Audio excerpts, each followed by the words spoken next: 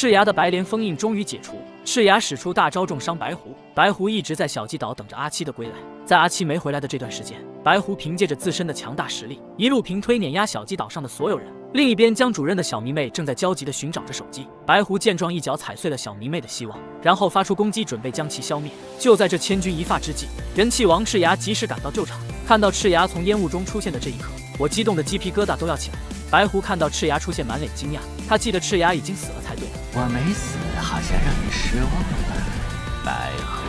紧接着，赤牙表示白狐来错地方了。现在白狐要追杀的并不是阿七，而是叛徒青凤。对于赤牙的话，白狐半信半疑。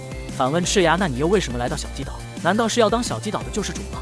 因为我跟那个老女人做了个交易。说完，赤牙迅速朝着白狐攻去。白狐接住赤牙的攻击后，双手凝聚出了一个巨大的冲击波。赤牙见状，启动血魔终极形态，使用利爪对着白狐爆射而去。俗话说，高手之间的对决仅需一招。下一秒之后，赤牙的利爪已经扎进了白狐的身体里。白狐难以置信地看着赤牙。白莲封印，早解除。随后，白狐使出自己的技能，想要渗透赤牙的身体。反观赤牙丝毫不慌，难道他根本不怕白狐的技能？